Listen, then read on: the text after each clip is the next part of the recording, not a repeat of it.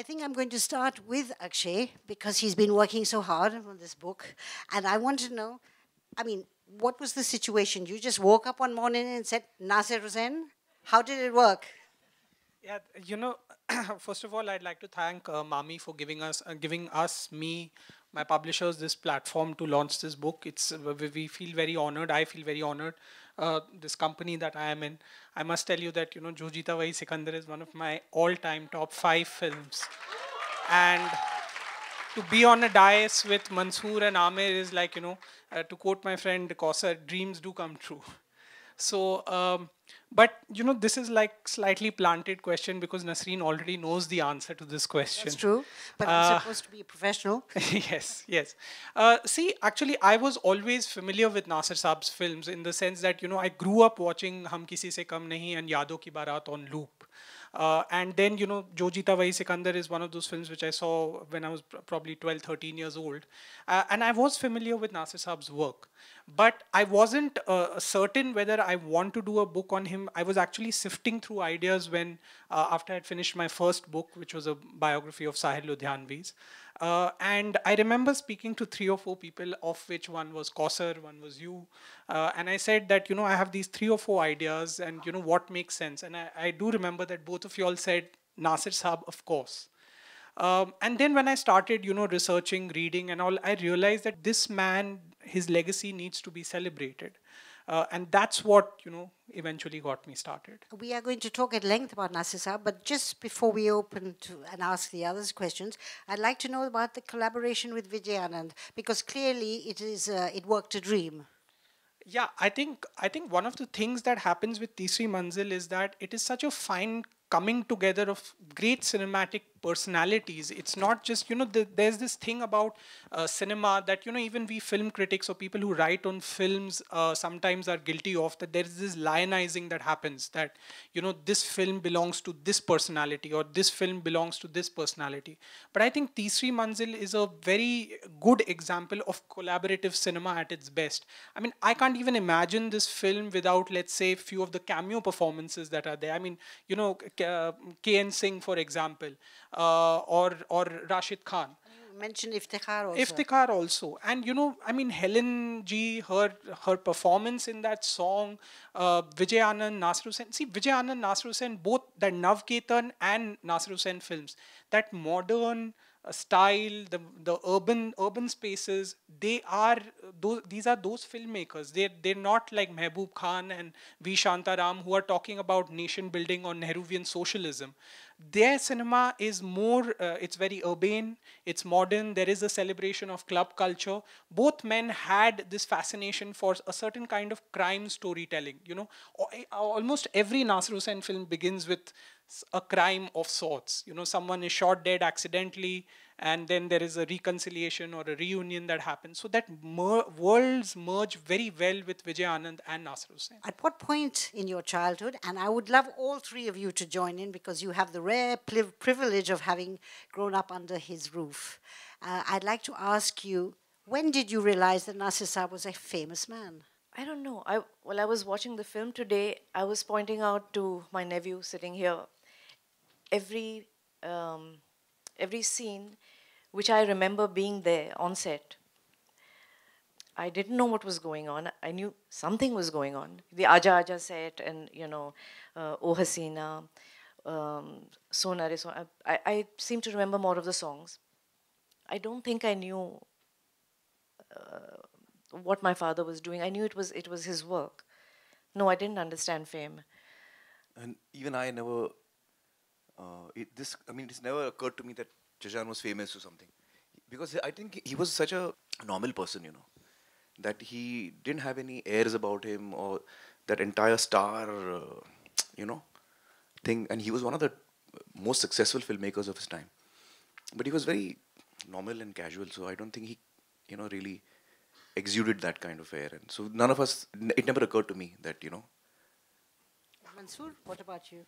Um, well, you'll be surprised. I saw Teesri Manzil maybe 15 years after it released. So I was totally disconnected with what was happening. so forget whether my father was famous or not. Um, but yes, I mean, I did feel we were privileged You know, we the you know I knew that he's someone special. You know, I didn't know about fame as such, but yeah, we felt uh, privileged and you know stuff like that. But I think to extend what Aamir is saying is that he was not uh, he didn't he was not a filmy personality. You know, or rather he didn't have big bashes. He didn't have a lot of hanger-ons. He didn't have you know the the sort of he, he would have one party in a year that was his birthday where everybody was there, and I'd go around with my autograph book and try and get everybody's uh, autograph. But yeah, that, that night felt very special. That night I, I, I could feel that he was very, very uh, famous, yeah. I was just wondering then, what were the kind of conversations you had at meal times with him? It was not films, that's for sure. Um, my dad, um, I, uh, he used to go in the morning to the office and he used to come back for lunch and then he would go back again and he would come back by I think 6 or 7 Six, six, six thirty. 6 6:30 it wasn't even dark yet and he would be back home every single day uh, I don't think that happens anymore um, I don't think that ever happened.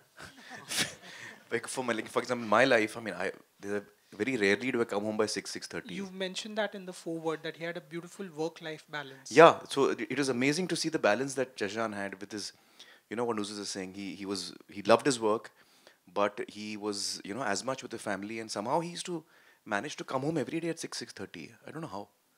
and that was it then he was with us but what he did do after he had come home and showered and got dressed in his white crisp kurta pajama, which was his home wear, um, and I think at an appropriate time, mix himself a drink and put the music on. so every evening was full of music, every single day. And what would what was he listening to?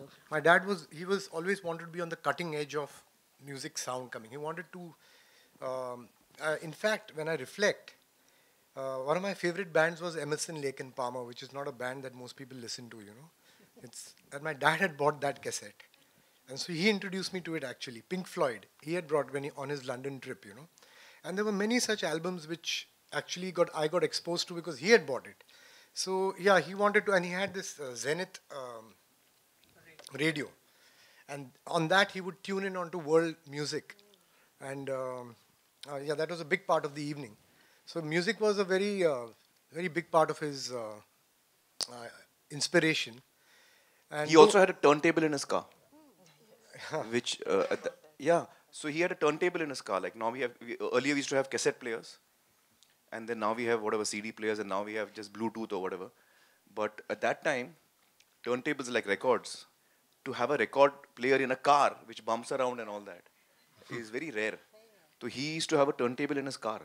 my interest in what uh, daddy was doing was mainly the music. I used to enjoy and the story sittings uh, not the shooting so much. Um, so the music sessions were very very fun to watch.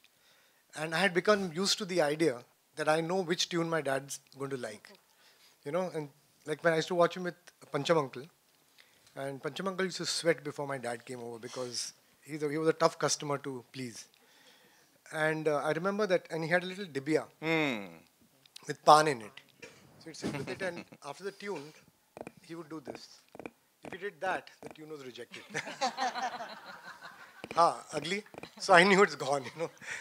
So uh, these were little little uh, idiosyncrasies which uh, I mean I imbibed, and only later when I had I mean I never thought I'd make films, but only much later did I realize how much of an intuitive tune sense he had, you know.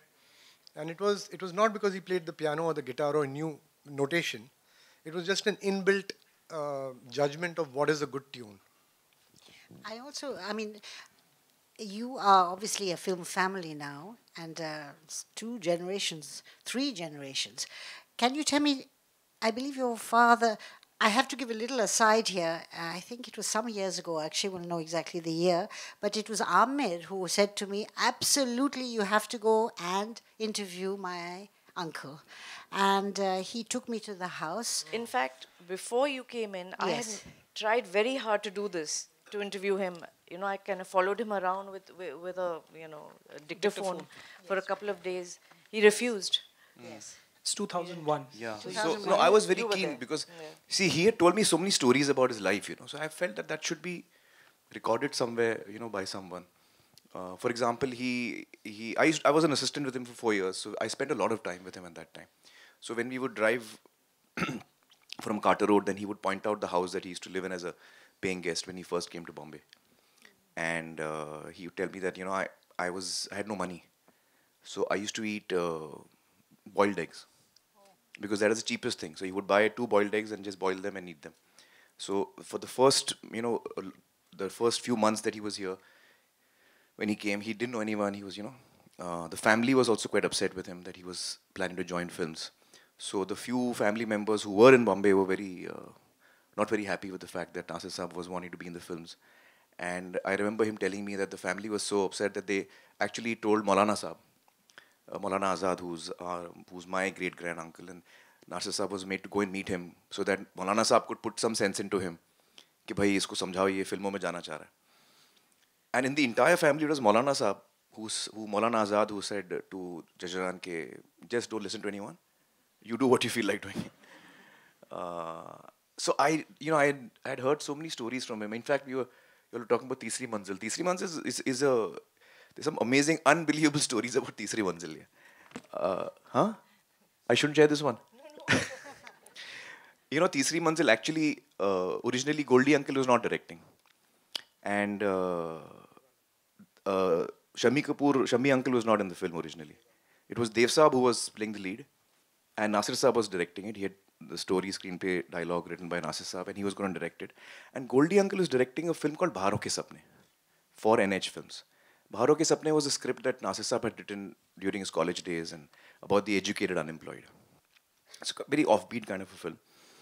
And uh, so uh, Goldie Uncle was making Baharon Ke Sapne with uh, Rajesh Khanna and Asha ji. And Teesri Manzil was, uh, you know, Dev Saab and uh, Asha auntie. And Nasir Saab was directing that, Goldie Uncle was directing this. So apparently one day Dev Saab, I think, said something.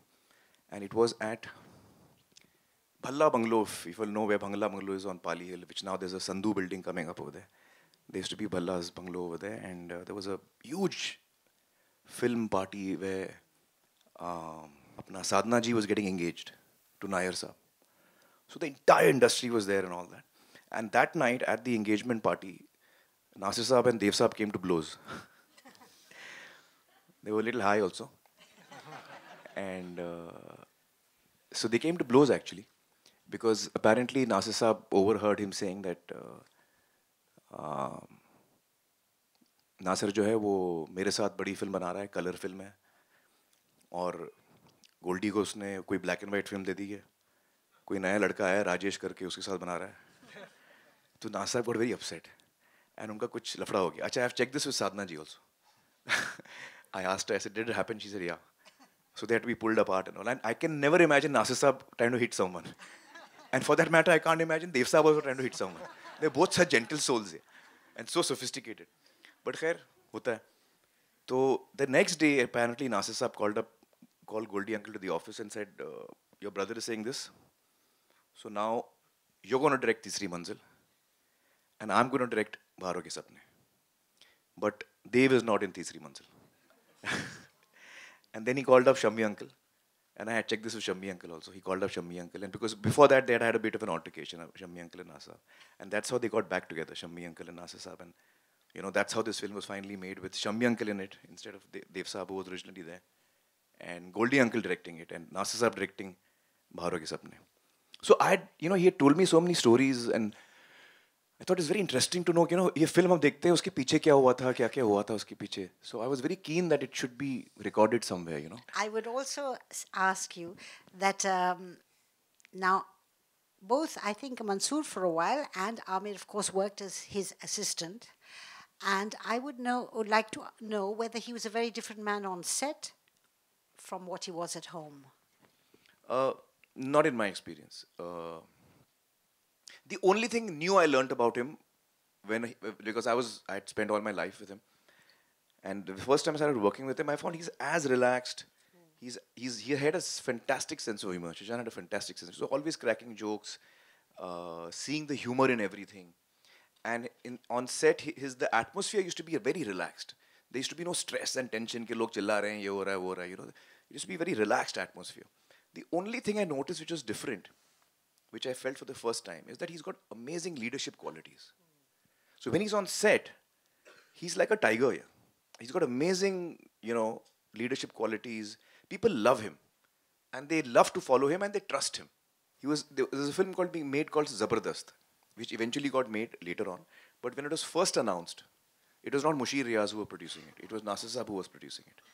And the cast was dilip kumar dharmendra uh, rishi uncle and uh, Raj Kiran. Raj Kiran, and there was uh, Asha auntie there was uh, an actress from the south i think sharda Yes, you mistaken. mentioned Sharda. and then there was Zeenat Aman, there was Neetu ji. So it was like a star-studded, you know, film. And this was immediately after he had made Yadon Ki Barat, Hum Kisi Se Kam Nahi. After that. And now it was Zabardast. It was huge. I mean, that announcement was like, there's an earthquake coming. You know, like that. It was big. And Yusuf Saab was, you know, Dilip Kumar was acting after some time. He shot four reels of that film. And he was not happy about something. So he shelved the film. Now that was a big step for him to do, which is just another example of him not being, you know, not wanting to compromise.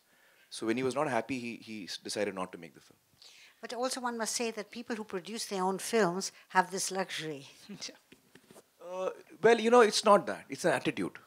See, it doesn't matter how much money you have or how little money you have. What matters is your attitude. And I think uh, in his attitude, he was very clear that he didn't want to compromise on anything. Now, I, what I understood is you were not very keen on just following your father's footsteps. But when you decided to, what was the best advice he gave you? It was not that I was not too keen. I was, uh, I wasn't interested in films at all. And when you mentioned that I assisted in then Aamir assisted, I was a useless assistant. I should have been sacked on day one. Aamir was a brilliant assistant, and I was like, I think यही कहानी जोजीता में भी है, one good son and one bad. so that's where it comes from. So Aamir is the the good son and ah, I'm the ah, bad son. Wow, wow. but really, uh, but but that's the thing. Actually, my dad didn't give me any advice, but I uh, somehow I felt that see for me I was uh, I was a dropout, and I you know done many uh, wasteful things. So for me it was to get to redeem myself in his eyes. It was more about that, and uh, so I was quietly working on a on a video film uh, just to test myself because I had video equipment. In those days, nobody had it where you can actually edit it. And I shot a one hour, 40 minute film which I had written, which was supposed to be a 20 minute film. It became a one hour, 40 minute film with two songs and uh, background. It was like a proper film. And daddy saw it later, and that gave him the confidence that I could possibly direct. Otherwise, he would have never given me the helm for Aamir's launch film. So yeah, I think he just had. I just felt that he had uh, intrinsic faith in, in me, and he didn't. He didn't. Uh, we used to argue a lot, so the question of advice didn't come in. You know, I, I, I didn't. I don't take advice easily. but I think you've forgotten one thing. Right through when Mansoor was you know in school and he came out of sc- after he came out of school and decided to go to IIT. He was in Bombay IIT. To engineering, पढ़ है तो whenever anyone to us Mansoor के are you becoming an engineer this that he went to I I T then he to M I T चजान would always say इनको जो करना है करने दो घूम फिर के इनको यहीं आना ही. Can go very wants ultimately वो यहीं आएगा. And that's exactly what happen living for you as daddy आसमी के मैंने यहाँ दुकान खोल के रखी है it's ready made you know why on earth do want go they you know so for me at that time it was like I mean like now making films is a very respectable, very you know everybody aspires. For me, it was like, oh come on, yeah. I mean, how can you even suggest that? I look down upon it. To to, to add to that, I mean, uh, when uh, we used to go as kids, I mean, we didn't know he was famous and all, but we used to criticize him a lot. So we used to go and watch his films, and after the trial, Daddy would say, "To kaisi lagi?" So at least I remember. I don't know whether Nuzhat does, but I would say, come on daddy, उसमें ये हो जाता है, फिर वो coincidence से वहाँ मिल जाते हैं, फिर ये coincidence हो जाता है, फिर वो ऐसा हो जाता है, फिर इसमें ये ऐसा है. I used to criticize the whole thing and keep listening to me quietly. At the end of it, it's अच्छा, लेकिन मज़ा आया कि नहीं?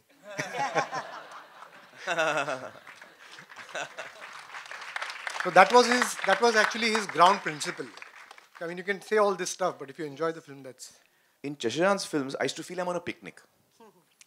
Is nice हम लोग आउटडोर में जा रहे हैं अच्छे गाने वाने हैं you know handsome looking people is romance this comedy is constantly making you laugh it is like this film is to be like a breezy summer holiday breezy picnic you know all his films have that quality and they were very modern film you know I mean in his film the female characters were very modern surprisingly so I mean you know at that time it was very unusual to see के Zeenat Aman is having a wine glass in her hand and all of that you know it was and if I can add over here, um, that song sequence which is there in the film Aja Aja, you know, uh, I, I really looked at a lot of films. You will be hard pressed to find a film before this Teesri Manzil where someone at Asha Ji's level, who's an A-list heroine, I think 65, 66 are Asha Ji's best years in terms of her commercial box office success.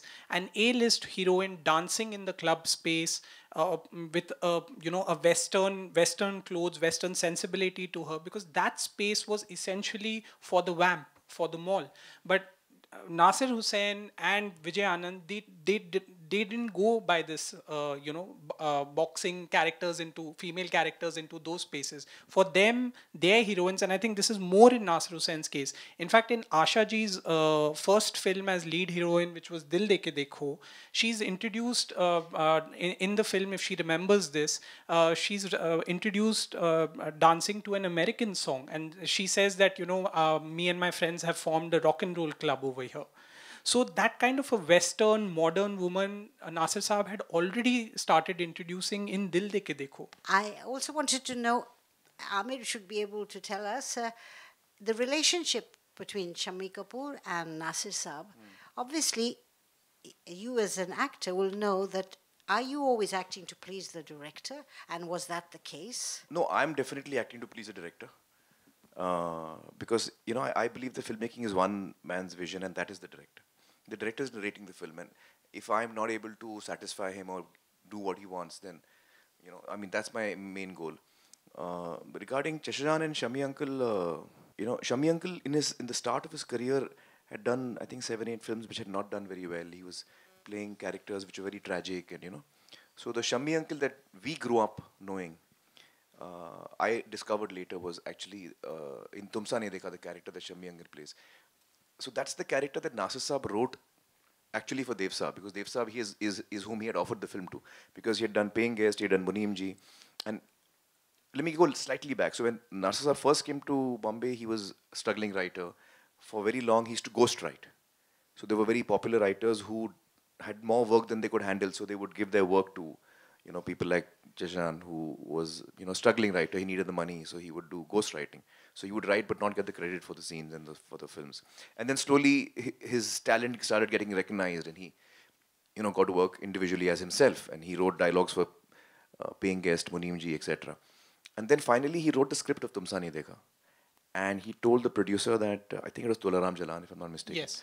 He told Tolaramji that this story that I have written, है ये मैं आपको तभी दूंगा जब मैं आप मुझे डायरेक्ट करने दें so I want to direct now and that's how Tumsa Nahi Dekha he got to direct. And he got to direct मतलब Tularam Jalan finally grudgingly said ठीक है यार अभी script अच्छी है and I want the script so I'll allow you to direct.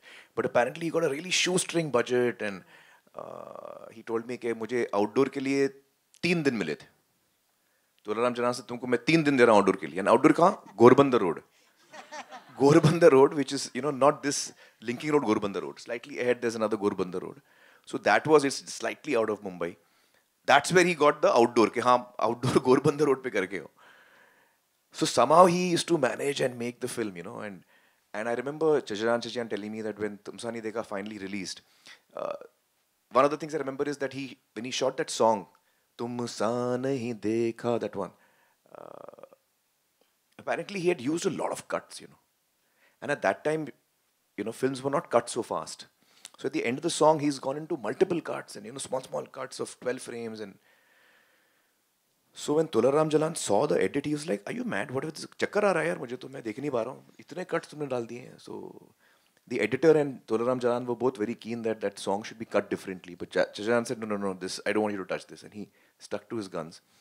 And when uh, the film was about to release, Tolaram Jalan was like, you know, anyway, this film is gone because Shammi Uncle had not had any successes until then. And uh, I think Naaz was a theater where the premiere Naaz was. Cinema Naaz and- Cinema, and I remember uh, they had a premiere on the day of the release. So if it was a Friday, Friday evening was a special show when the stall was tickets were sold in the stall, and the invitees were in the balcony. And when the film began, Shammi uncle and uh, Geeta auntie and uh, Chachajan had come together in Shammi uncle's car. And uh, they had come to the show, and, and he said that we sat on the balcony, and the film began. And you know, suddenly there were noises from the stall which were coming, and Shammi uncle kept asking Chachajan ke, "Are they booing the film? Are they booing the film?" Because he he was so used to his films not being liked, you know, he couldn't understand कि उनको अच्छी लग रही बुरी लग रही है किच कर गया तो चरण सिंह नहीं नहीं they clapping they enjoying the film so he couldn't believe it he kept asking Charan Nasir ये हंस रहे हैं कि रो रहे हैं मतलब क्या हो रहा है and that I mean the film was very loved, and that first show itself became huge. And Chachajan says that that day, Shammi uncle from being someone who had you know until then had not really yes. become successful, that day he became a star because Chachajan said when I came out of the theater, I couldn't find Shammi anywhere, and Chachajan and him had to go home in a tanga because they had come with Shammi uncle in the car. So he said, के वो तो इतना mob हो गया वो पता नहीं यहाँ से वहाँ सब you know it was he was out of he couldn't even reach him and uh, you know as usual the writers and directors are unrecognized. So unko dhakke vakke pade finally it was his first film no one knew who he was also. So he said ki chachajan and i were happy ki chalo logo film pasand aa rahi hai. They got into a tanga and then they went. How lovely. How lovely to have grown up and knowing all this. I think i'm envious of you all. You know i had asked ashami uh, kapoor something interesting and he could see it from tumsa nahi dekha. I said that when he was in his song sequence it was very fascinating to me uh, where the cuts took place in a song. So he said to me, Oh, because it was very simple, because when I knew they should cut on the beat, I would jump out of the frame. I wasn't there. So therefore they had to cut. So I thought this was brilliant. And if you see his shots, he's kind of flopping out, a little bit like I did the act with my chair, you know, and he disappears. So uh, um, unbelievable. That confidence of the edit. And he's always said, uh, Shammi Kapoor has always said that he was not a good dancer. But That's not true. That's not true. you know, uh, I mean, I spent a lot of time with Shammi uncle, and he he, you know, when I got to know him properly and, and you know spent was spending a lot of time with him. By then, he was a very uh, loving, warm, you know, person. But he told me that you know, in my youth, I was really bratish. And uh, मतलब अभी brats he would put them to shame. That's how bratish he was. And he's told me a lot of stories which I'm not going to repeat over here. But uh, so I can imagine him you know I mean the the combination of him at his you know peak of brattiness with Chachajan and the two of them you know working together. Yeah you know I just want to say something about that you know uh, because we're talking so much about Shammi uncle and, and dad. Uh, I think that um a lot of uh, what what my dad was as a character inside, but um, which he wrote, but he didn't do himself physically. I, I think that he saw uh, that Shammi, Shammi uncle had that. So, for instance, every eve- um, well, not every evening, uh, quite often when Shammi, uh, Shammi uncle came over home, I remember in the evenings, and uh, this this used to be very late, and I used to be uh, very small and wanting to go to sleep, but too excited to go to sleep because there are all the grown-ups are there and playing all this exciting music. I don't know if you remember this, but Dad would put the music on, but he wouldn't dance. Dad, Shammi uncle was the one who was dancing. and this would be uh, in, in that little bedroom of ours, the parents' bedroom, uh, because just next door is my dad's mom and aunts and all of that, and you know, couldn't make too much noise also. but this is what he used to be doing, and I, I saw dad as uh, providing the uh, the sound and the music, and and the rhythm, really. yeah. He was never the one who uh, Person- enact- personified it. Yes. But I, I think you've forgotten one night when he didn't dance normally. But one night he played, uh, there was a Punjabi folk song. Ah, yes. You remember that, no? And it was such an appealing song that all of us were dancing. Uh, no, not Runa Laila. It was that Soni Gaddi wali. That was hers? Acha, acha, acha. I didn't know whose it was. Yeah, but I, I remember him dancing and really enjoying that song. You know, it was and it was a frothy uh, folk song, Punjabi folk song. So it's not that he couldn't dance. He just No, no, yeah, I, I have seen him dancing. uh, He, he didn't do it very well. And would you say he was an introvert or extrovert? He was an extrovert. he was an extrovert. He would hold uh, like in a party uh, or in a in a sitting. He would be the center of you know repartees, But with his humor, words. narrative. Yeah, With his words. yeah. We talked a lot about Mansoor's work and, of course, Aamir's. Uh, Nuzhat, did he ever guide you in terms of what you should do in life? Did he think you should work in films? Never. you remember, we were the generation that didn't think it was a good thing to work in films, and especially women. So there was no question about me doing anything with the movies. Uh, it would never have occurred to my father, and it didn't occur to me. Uh, so I did my. Um, I, I, I went to school, I went to college, and I, at a certain point, like Mansoor, ghum phir ke I came back to the films, but just very minimally uh, at the time of uh, QSQT. So, So Nuzhat, Mansoor, me, and Chachajan, the four of us worked on that script. And so Nuzhat was involved in the writing of a number of scripts, including Raakh, by the way. For QSQT, we all worked together, but Aamir and Nuzhat's main job was to resolve the the Conflict. between the conflict between my dad and me. Actually, what happened, I'll tell you, QSQT was being directed by Chachajan. And Mansoor was writing Jo Jeeta at that time as his first film. So then at one point when the script was complete, Chahjan fell ill and he had to go through an operation and all, bypass. So he was not in a position to direct the film. You know, he had to, he couldn't uh, take the strain of directing a film so quickly after the operation. So he told Mansoor कि भाई तुम अपने script के साथ struggle कर रहे हो ये हमारी रेडी है तुम सुन लो अगर अच्छी तो तुम ये बना लो पहले So Mansoor said, okay, he heard the script and he said, yeah, I, I like it and I want to do it. Uh, but I might need a few changes in the script.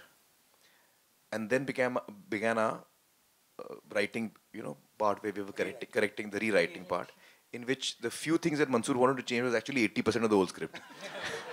so, so while the story remained the same, but uh, and I remember that when Mansoor was not the director, and Nuzhat and I was working with Chachajan, Nuzhat and I would keep fighting with him about you know about the way that we, we because we were think we were coming from a different generation and we were thinking differently, and we kept uh, fighting with him. But he was a director, so ultimately Nuzuddin has to give in. Okay, now you, you know he's not listening to us, and he obviously knows what he wants, and he's a director, so he would write as per his requirement and guidance. When Mansoor came in, we were like, yes, suddenly we, we had. So the three so of us used to be against him. So Jajjan used तुम लोग इतनी बड़ी गलती कर रहे हो, तुमको पता नहीं तुम लोग क्या कर रहे हो, पागल हो गया तुम लोग. So he used to get really upset with us, but then, but then he would, you know, he went along because now he also realized that now the director is Mansoor and we have to all work towards, you know, Mansoor's Yeah, but, his, requirement. but his guidance. I mean, at that time when we, we would argue, I mean, I had vague ideas in my mind, like like this scene shouldn't be like this. So you would say like, what what should it be like? You can't just say, oh, this is too boring, oh, this is that, you know.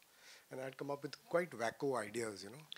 Well, one of one of the one of the things which was an absolute delight to get to know uh, when I was interviewing them, uh, and I interviewed them multiple times, uh, was this entire beautiful backstory to the original working title of Kayamat Se Kayamat Tak, and and Nafrat ke waris. Nafrat ke Wa- which basically original title was Nafrat ke ke Waris. which was basically an offshoot from this dialogue where you know Amir in Kayamat se Kayamat tak he goes to Randhir Singh and he says मैं और रश्मि आप दोनों के नफरत के वारिस बनने को तैयार नहीं हैं And so, as Mansoor said, that you know, we were thinking very literally ki that animosity has to come out in the title. So, Nafrat Ke Waris or Darar. Darar yeah, yeah. Darar was another title. But you know, here yeah. again, you appreciate Nasir Hussain. See, the thing about Nasir Hussain is that we remember him now for fun, frothy, song, dance, music, romance. But he was a man of letters. So he calls them one day, apparently, this is the story that they told me, that he calls them one day and he says, Look, I think I've got the right title just hear me out be patient give it a just listen to it digest it for a minute. And they're they're obviously they you know uh, edgy and they're wondering what he's going to say. And he says kayamat se kayamat tak. And as Mansoor said, he said, I don't know why, but I just loved the title. Hmm. And just to wet it, he called up Majrooh Saab. You know, again, that mental literary wavelength. And Majrooh Saab apparently gave his, uh, uh, you know, he, he, he said, yeah, that's a fine title. But you have to appreciate the fact that, you know, there can't be a more beautiful translation, I mean, title for the film. Because Qayamat Se Qayamat Tak basically means that the film begins with this violent death which is with the death of uh, the, the, uh, the guy that uh, Dilip Tahil shoots, and it ends with the murder, uh, the deaths of these say? two people. No, I, I mean that's interesting, but uh, but it's also funny that while my dad, I often thought about this, that while he he suggested Qayamat se Qayamat tak, I don't think we had gone started shooting yet. No? Uh, no. We hadn't no, gone for no, shooting. No. So uh, uh, in my dad's mind, uh, it when you say Qayamat se Qayamat tak, it means you're actually expecting a sad end. Right. So though he thought of the title, but he was not In favor of a sad. in sad favor of end, a sad correct. end. We used- that used to be another bone of contention between us. Yes. I remember that in English we used to say that uh, you know titles for this film should be something like see नफरत के वारिस I used to always feel कि यार बहुत ही मतलब गाढ़ा type का है ये नफरत के वारिस and all it sounds very too obvious. strange too obvious so one of the titles if you remember we used to discuss was from here to eternity इसमें ऐसा कुछ फील होना चाहिए from here to eternity And that is when, yeah, and that is when Cheshire said, "Kayamat se kayamat tak." Yeah, that makes sense. And I had one conversation when we were talking now about Majrooh Saab uh, with Majrooh Saab, and he said there were two very. I'm sure he wasn't excluding everybody, but he said there बहुत शरीफ दो uh, शख्स हैं इस industry में पहले तो गुरुदत्त जी हैं और फिर uh, नासिर साहब and they were obviously very close and great friends. But you told me a wonderful story about how you were resistant to the song Papa Kehte Hain. You didn't want the word Papa. Why was that? Uh, it sounded very tacky to me, you know. So, uh, uh, and see, I'll tell you, it was very difficult for me uh, to work with Majrooh Saab after he is used to working with my dad, who was a literature, you know, sort of Urdu literature person. And I am, I, I used to talk to him in English, but the, he was so flexible. Majru Saab was so flexible. He said, आप अपने तरीके से बताइए. You explain to me in your words कि what is the boy saying, or what is the girl saying and stuff like that. I used to do things like that. तो इसमें actually मैंने ये thought शायद दी थी roughly like that, you know, that this boy doesn't know what where he's going, whereas actually he's a romantic. And his his yeah, that which comes in the antara, second antara. So he came up with the line, Papa कहते हैं ये वो तुम. I didn't like it one bit. You were cringing. I was cringing. Yeah. You know, but uh, everybody else liked it. It's interesting line because I mean, psychologically, it really is seeking the approval of the dad. Hmm. yeah. You know, which you said earlier on in the, our conversation. Yeah. I, I remember Majrooh telling me, you know, the song was written, it was recorded, and it, you know, it turned out rather well. so we were sitting at Lime Run that time, I think, and Majrooh Saab telling me, "बेटा dekho, gana to bada अच्छा hai." अब तुम्हारे ऊपर है तुम कैसे करो. I was like, that's a nice way of putting it. no pressure, बेटा. Super hit गाना है अब तुमको करना है. And uh, in terms of when you went from being an assistant, he was Nasir Saab was clear you want he wanted to launch you as an actor. No, he wasn't clear actually. He wasn't. Tell you us see, what that. happened is that for me, when I wanted to be an actor, I was very conscious about one thing that I never wanted Nasir Saab or Chacha, uh, Chachajan or Abbajan to ever feel, you know, okay, now it is our responsibility to launch Aamir.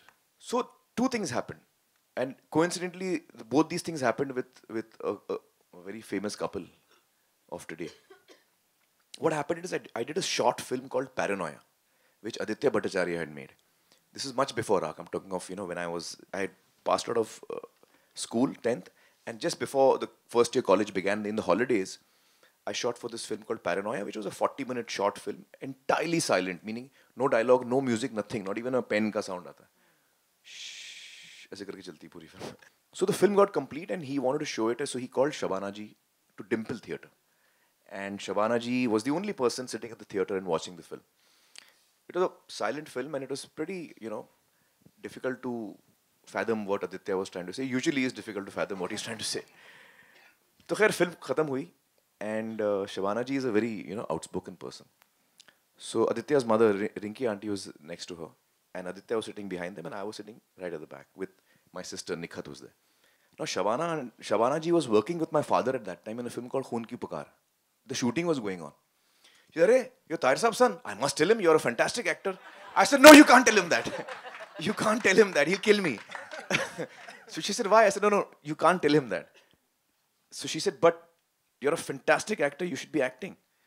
So I was so thrilled because I really look up to Shabana ji as an actress. And when she said that, I was like, wow, you know, like I felt so good that someone who I respect so much as an actor is telling me uh, that, that, that she's like, you're really amazing and, you know, you have no idea how well you've done and you really should act.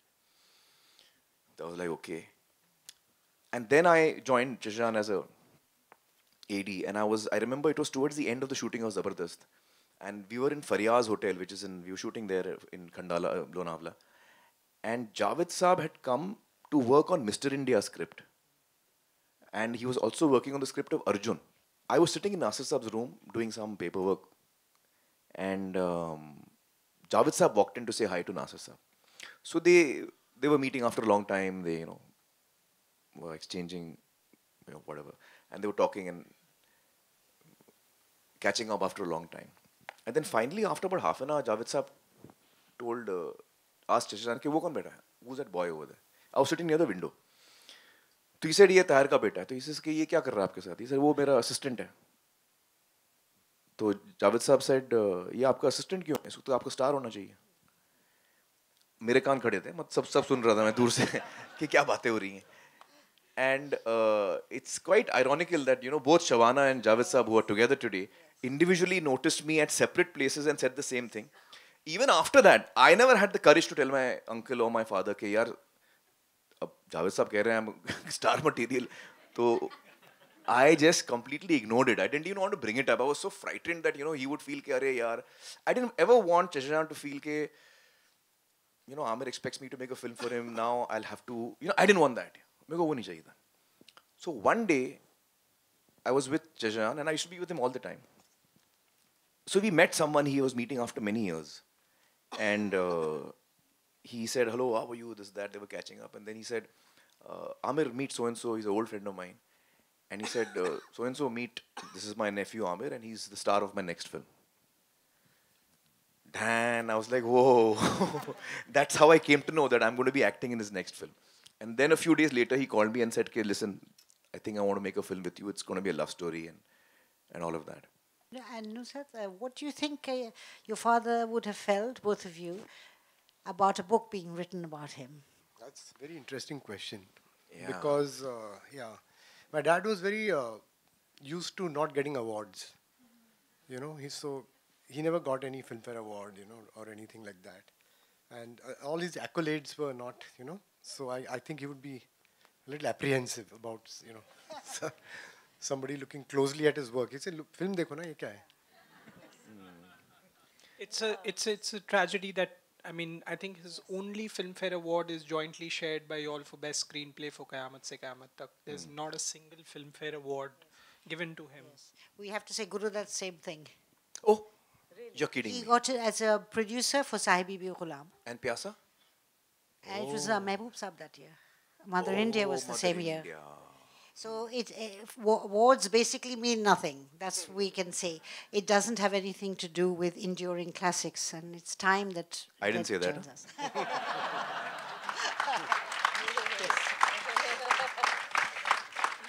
I think he'd be surprised about this book. I think he would be shy. He'd be shy about I it. think he would be shy. He'd be like, nahi, kya, book, kitab, kitab, kya hai, abhi chodo. You know, people will watch my film if they want to. He would be, I, I think he would be shy. Do you think he would read it? I don't think so. No chance. no chance he would never read it.